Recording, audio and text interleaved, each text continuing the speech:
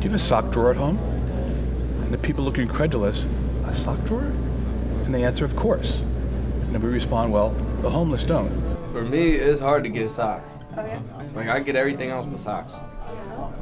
But you guys are real helpful. My name is Tom Costello, Jr., and I am the founder of the nonprofit called the Joy of Sox. And the mission of the Joy of Sox is to provide socks for the homeless. What do you do with your socks?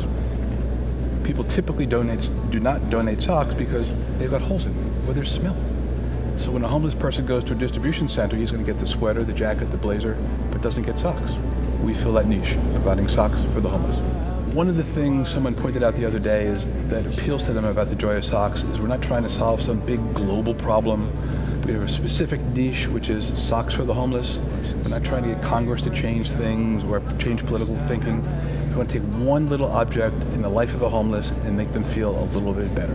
And that's providing them with socks. been trying to find what's been in my mind. Well, we have a pack of socks for you if you'd like.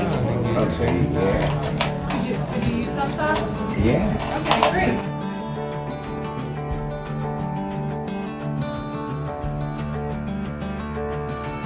Many a night I found myself with no friend standing near.